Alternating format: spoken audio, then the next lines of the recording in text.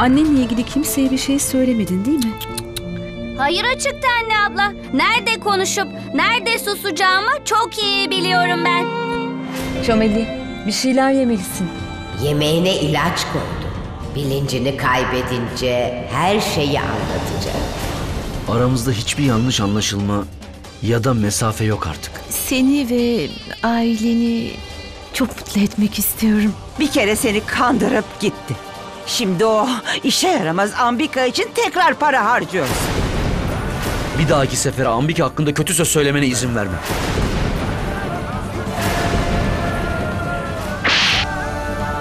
Bir daha parmağını uzatırsan o parmağını kırarım. Gördüğüm yeni bölümüyle Salı günü Kanal 7'de.